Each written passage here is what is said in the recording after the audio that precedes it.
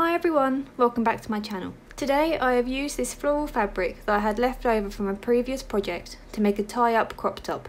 I really like the pattern on this fabric, so I thought I'd use it to make something else. So let's get into it. First, I needed to take some measurements. The first one was how long I wanted my top to be. It needed to be long enough to tie up in the front. My measurement was 57 inches. I added an inch for seam allowance. The second measurement was how wide I wanted my top to be. My measurement was 7 inches. Again, I added an inch for seam allowance. The last measurement I needed was for my straps. Starting where the top edge of my crop top will sit, I measured over my shoulders and roughly decided where the straps would end. My measurement was 16 inches, but I added 2 inches to this to be sure, so I went with 18 inches. These are my measurements again as a reference, but of course yours will differ slightly. With my fabric laying out flat, I measured and marked out a piece that was 57 inches long and 7 inches wide. I then cut this out. This was my outer piece. I then repeated this on a piece of plain white fabric. This will be my lining piece. I then measured and marked out my pieces for my straps. These were 18 inches long and 3 inches wide. I'm making the straps first. Taking my two pieces, I folded these in half, right sides together, and pinned along the long edge. I then sewed where I'd pinned.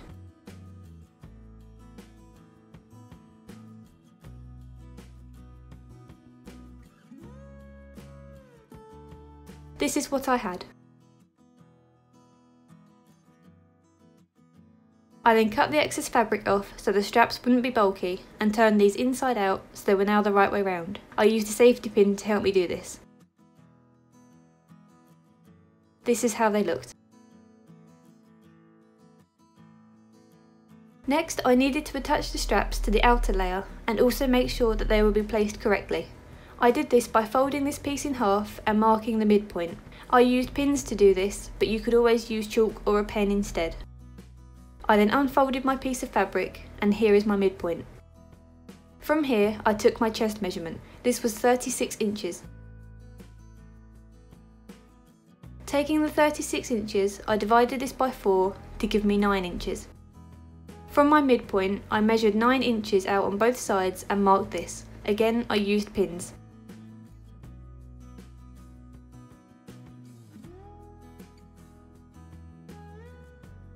Then I divided the 9 in half to give me 4.5 inches.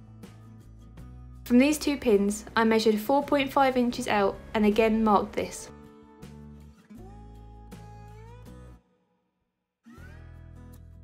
This is where one end of my strap will sit.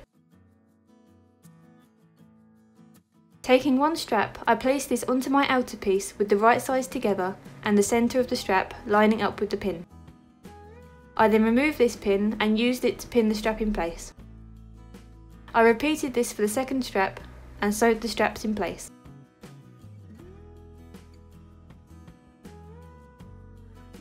This is how they looked.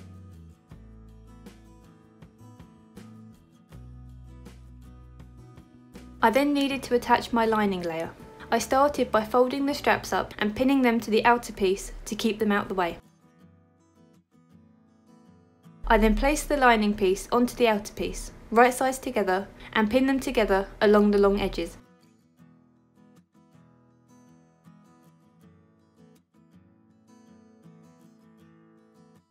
Then, on one of the ends, I measured and marked 4.5 inches in from the edge along the top edge and marked this. I then connected this to the bottom corner using a diagonal line and cut along the line I had just drawn, so I had something that looked like this. I used the piece I cut off as a template to do the same thing on the other end. This will stop the ends of the top looking too bulky once they are tied. Once I'd done that, I sewed the two pieces together all the way around but left a small gap at the bottom. This will allow me to turn the piece the right way after sewing. This is how it looked. I now needed to turn this piece inside out so the right side of the fabric was on the outside. I started by removing the pins that were holding the straps in place and then pulled the fabric through the gap I had left, making sure to push the corners out so the top would have a neat finish.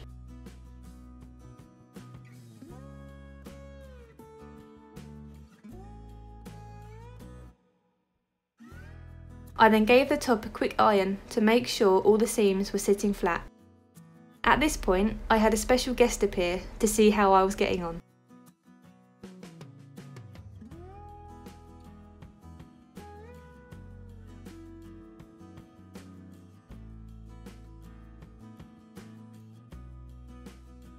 After I'd ironed, I top stitched all the way around the edges to give the top a neater finish and to also stop the lining fabric from showing.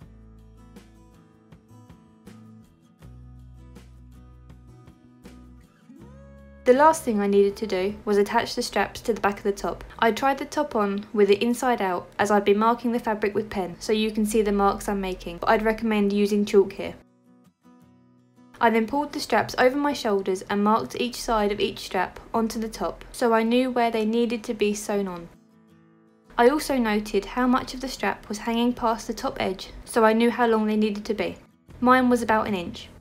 I then laid the top out flat and taking one strap I placed it between the two lines I had just drawn I made sure the bottom of the strap was hanging over the top edge by an inch and pinned this in place.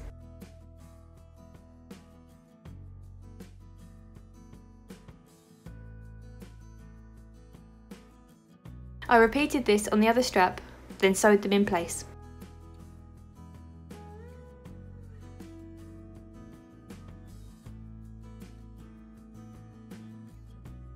Once the straps were sewn on, the top was complete and this is how it looked. This crop top is really quick and easy to make, so it would be a great first project for someone in time for summer.